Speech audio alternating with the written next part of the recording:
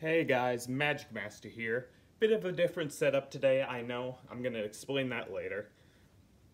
But um, today I'm actually just going to be showing you the tutorial for a trick because as you could tell by the title, you're going to be teaching the spectator a trick and I don't have a spectator, so I can't really do a performance because it's just a tutorial, you know? So we're just going to do that. Before we get into that, go subscribe to all the links I have in the description. Without further ado, let's get into the tutorial. So,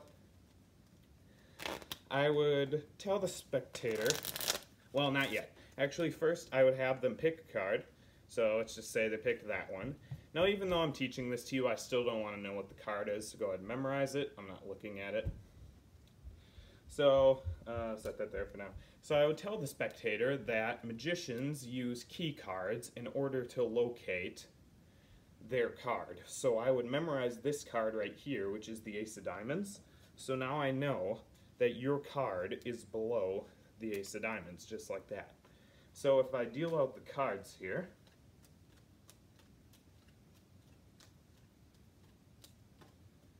uh, let's see, there we go. There's the Ace of Diamonds. So that means this right here would be your card, and this right here would be a card nobody knows about. And set the deck aside. Since you already know what my card is, I'm going to take it and just put it in my pocket here. Wait a minute, that doesn't look right. Hold on a minute. Where'd the Ace of Diamonds go? This is the Ten of Diamonds. That's interesting. So that should be your card, but what, what is it? Oh, okay. There's the Ace of Diamonds.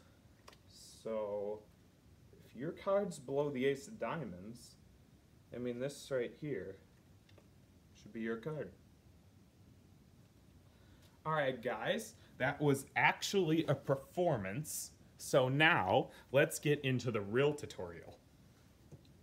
So, you're pretending you're going to teach the spectator a trick, but you really have this um, triple climax uh, trick for them. So you're not actually teaching the trick to them. So first of all, this trick does require a bit of a setup and it requires a duplicate card. So you can have this one of two ways, either if you have a deck that comes with a duplicate card, like the Bicycle Tetra deck comes with a duplicate Ace of Diamonds and Ace of Spades, so I'm using the Ace of Diamonds here as my duplicate card or if you have two decks that have the same color back, same company, you know, that kind of thing, you can just pull out one card from one deck and find the matching card in the other deck. And then you want to take the two duplicates, set them on the bottom of the deck, and also before the trick, you want to just take a card, put it in your pocket. It does not matter what the card is. Okay, so now you go up to the spectator, and you say, today I'm just going to be teaching you a trick. So you start by having them pick a card. Make sure it's not the bottom two cards because those are your duplicate cards.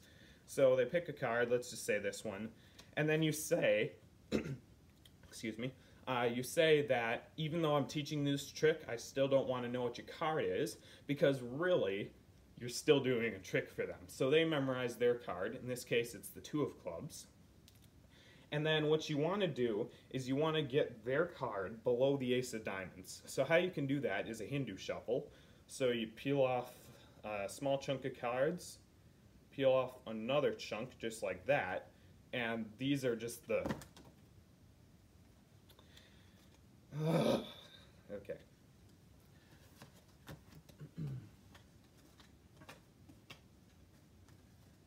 Little uh, Magic Master blooper for you guys there. Um, usually I would stop the video and make a new one, but I really don't have time right now, so I guess I'll treat you guys to a nice blooper. I dropped some cards. Okay. So let's go back to that Hindu shuffle. All right. So you take off a small packet of cards from the top, take off another small packet. So what you've really done is just gotten the bottom two cards right here. So now you have them place their card right here, and then you say, now I know your card is below the ace of diamonds. You explain how you memorize it and stuff like that. So you say, now I know your card is below the ace of diamonds. But you really have two ace of diamonds on top of it. So you say, if I deal out the cards here, when we get to the ace of diamonds,